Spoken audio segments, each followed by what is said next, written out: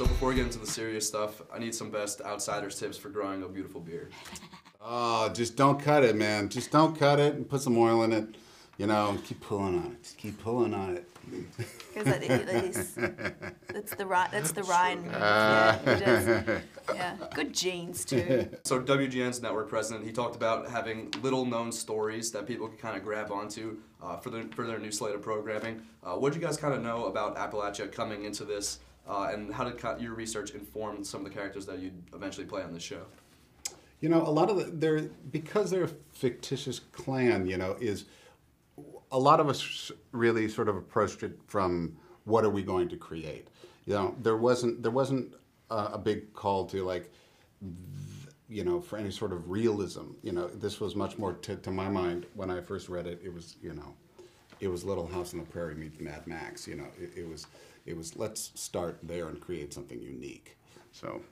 That is such a great. well, the very Mad Max.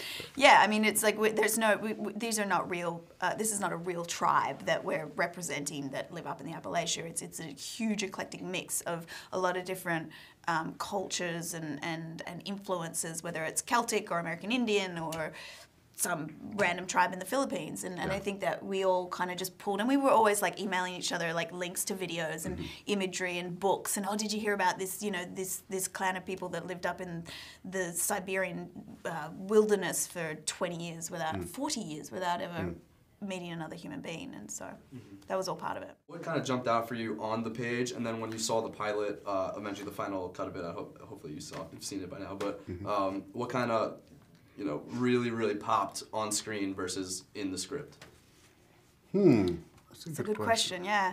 You know, every work of art is going to change and it, it evolves, and especially in television when there's so many people who contribute to the final product. You know, it's it's it's, and I think that you know, I think that the script probably went through uh, uh, so many different versions, and definitely the script that I first read before I auditioned to the sh- script that we actually had when we shot, and then what got left in and got left out, and what changed, and all of that. It was it, it's definitely grown and evolved into its own thing now. I mean, we have a show like it's really it's really interesting. Um, you know, I, I I hope that all of it pops in a sense. I hope that we Yeah.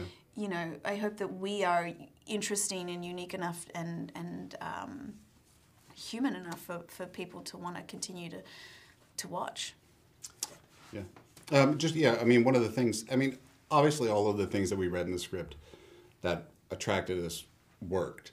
You know, you're riding ATVs through, you know, through a department store. It's obviously going to be great.